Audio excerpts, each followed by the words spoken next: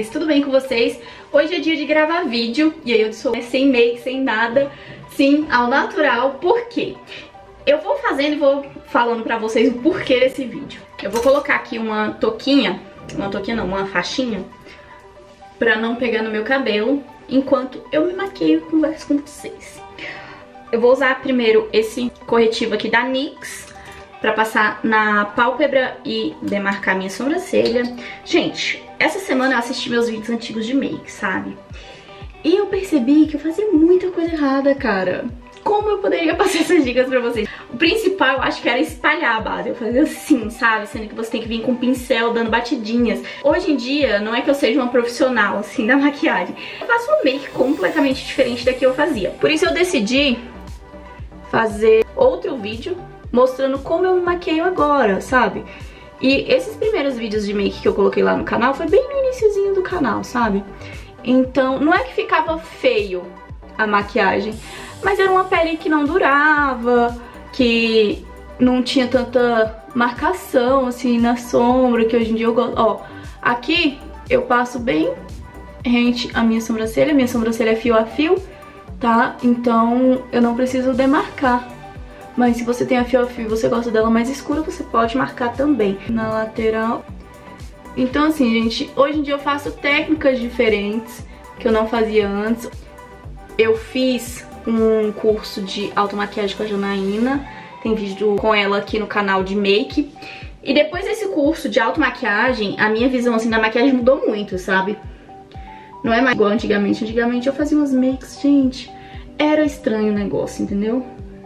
Porque a pele não ficava boa, não tinha produto. Eu ainda falava assim, olha, como é durante o dia, pode passar pouco produto.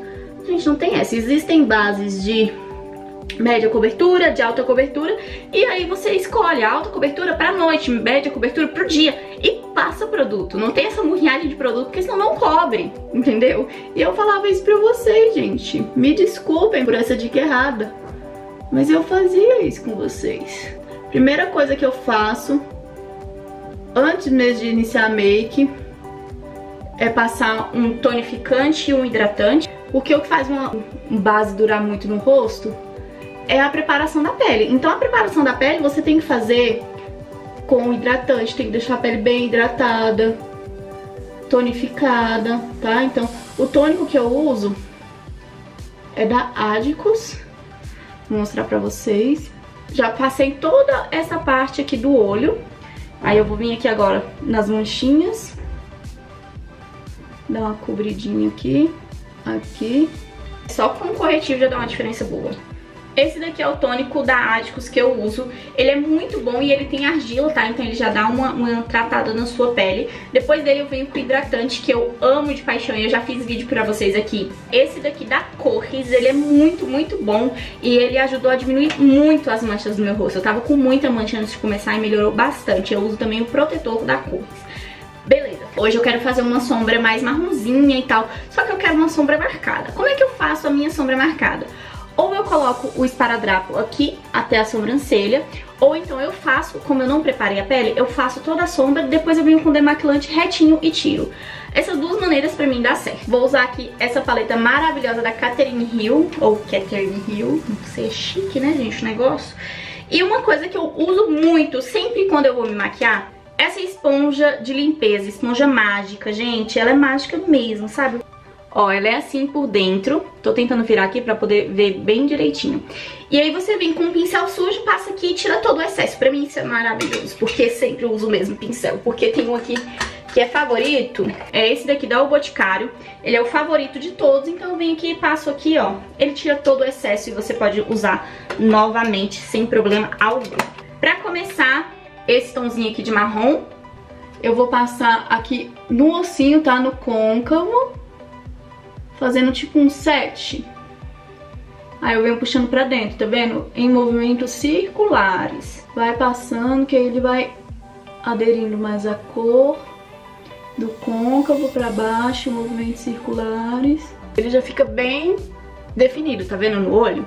E como ele é um marronzinho mais clarinho, tem que passar várias vezes pra pegar melhor o tom, tá? Aí eu faço o quê? Uso a minha esponja mágica pra limpar o excesso.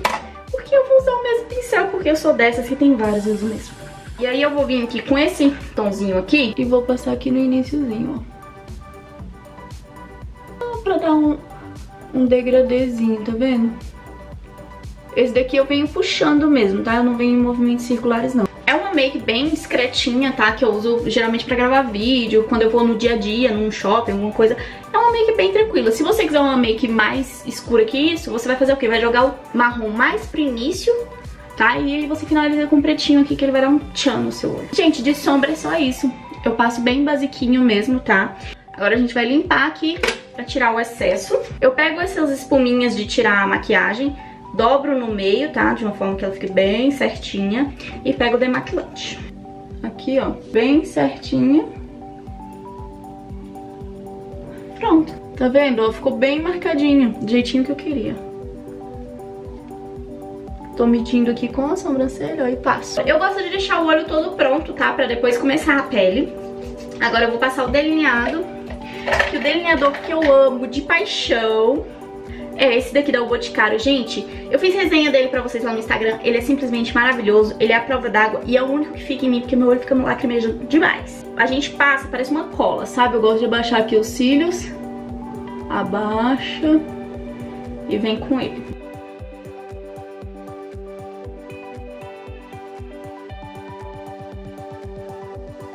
Então agora a gente vai colocar os cílios postiços. Eu gosto de usar esse daqui da Kiss, ele é maravilhoso. E aí eu comprei esse, esse aplicador da Disse Berenice, que é divino e facilita muito pra aplicar os cílios. Você coloca os cílios aqui e passa a cola. A cola que eu uso é essa da Du, que ela é maravilhosa, ela fica muito bem. E aí agora vem o truque. Passo aqui nele. E o truque, eu coloco um pouquinho aqui na frente e um pouquinho aqui na ponta. Antes de fazer isso, meu cílio sempre soltava, então agora ele não solta mais. É só esperar secar um pouquinho que a gente aplica. Pra aplicar, você coloca aqui a ponta, meio e início. Só dá uma ajeitadinha aqui. Cílios postiços é o quê? Pra mim é vida, porque eu amo cílios postiços. Eu acho que se eu pudesse viver de alongamento, eu viveria. Tô passando aqui a colinha e a técnica que eu ensinei pra vocês. Início. Enfim, por que só início e fim? Porque o meu sempre fica no meio, tá? Sempre soltava uma ponta ou outra. Então agora eu faço assim, que é pra não ter problema. Não preciso aplicar o delineador novamente, porque essa cola fica transparente. Então não fica manchado, sabe? Olha só a diferença desse lado pra esse. Olha que eu nem passei lápis de olho, não passei nada ainda, gente. Agora vamos pro lápis de olho. O lápis que eu amo de paixão é esse daqui da Make Be, o retrátil, tá? Porque o aquele que a gente aponta, pra mim não fica a mesma coisa. Passa bem dentro dos olhos. Pode passar bastante. Já preparamos aqui o olho. Falta o quê? Um rímel pra juntar os meus cílios com os cílios postiços. Agora vamos de pele, tá? O olho aqui já tá pronto. E pra pele nós vamos usar uma base baratinha que é Vida. Essa daqui da Dalla Makeup. Já tem resenha dela aqui no canal, então é só você procurar aí playlist de maquiagem. Ela é baratinha e a cobertura dela é maravilhosa e eu adoro. Batidinhas, tá? Pra espalhar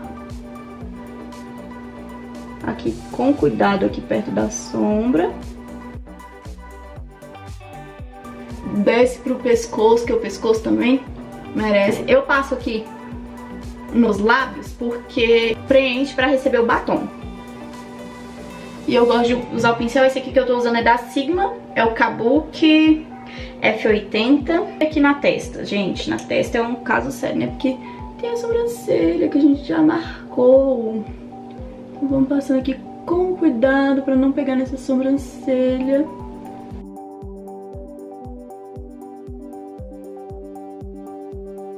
Aí tá, aí você vai me falar assim, ah, eu não gosto de usar pincel.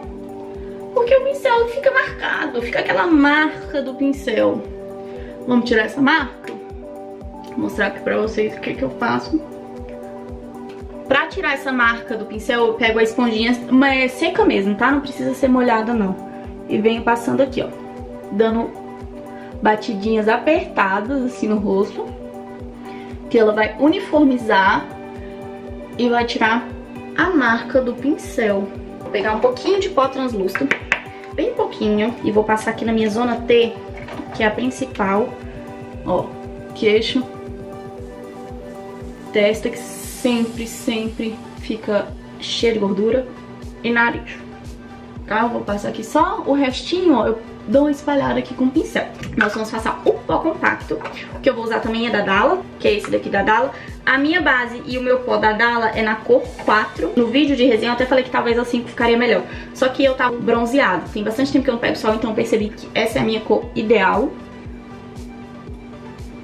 Movimentos circulares, tá?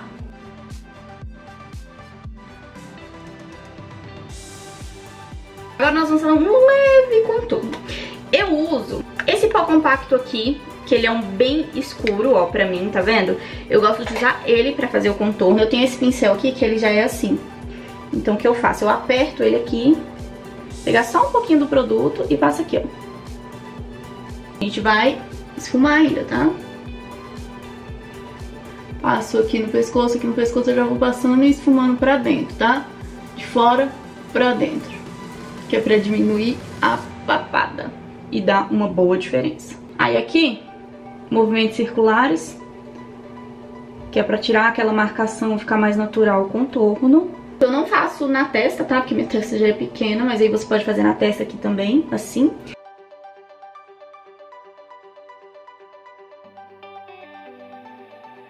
Fiz um leve contorninho aqui no nariz, bem pouquinho, porque eu não gosto muito de contornar o nariz, porque eu nunca consigo contornar tão bem, né? Eu preciso dizer... E aí depois a gente pega o blush. Eu amo esse blush pó solto. Esse aqui é da Boticário antigo, sabe? A embalagem. Mas é da Boticário. Tiro o excesso e passo aqui em cima.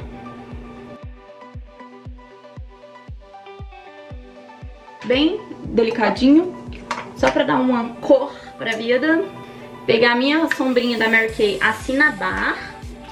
E aí eu vou passar ela aqui embaixo dos olhos. Eu gosto de pegar esse pincelzinho aqui, que é como se fosse pra batom, sabe? Eu pego ele, que ele é bem fininho, bem pequenininho, e passo aqui embaixo dos olhos, ó.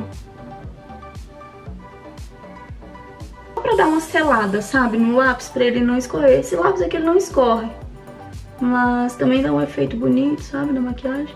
Bom, agora é o quê? Batom, né? Eu vou usar esse batom aqui, também da Dalla, a cor é a Alice e eu acho ele maravilhoso. Não sou craque no batom, tá? Mas eu faço o quê? Puxo aqui pra baixo.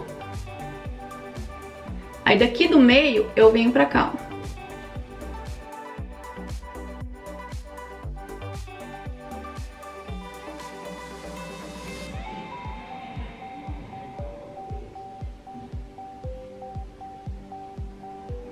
Soltar o cabelo, né?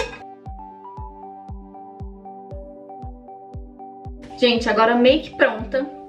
Olha só, fica bem discretinha. Então foi isso, meus amores. Eu espero muito que vocês tenham gostado. Era pra mostrar, assim, algumas coisas que mudaram na minha maquiagem. Agora eu não faço mais da mesma forma que eu fazia antes. E eu acho que hoje em dia é muito mais prático e rápido pra eu poder fazer, sabe? Eu acho que não demora tanto e fica uma maquiagem mais bonita. Uma maquiagem, assim, ó, mais marcadinha, que é o jeito que eu gosto. Então já aproveita pra curtir o vídeo, se inscreva aqui no canal e vai lá no meu Instagram, que tem sempre novidade por lá. Tchau!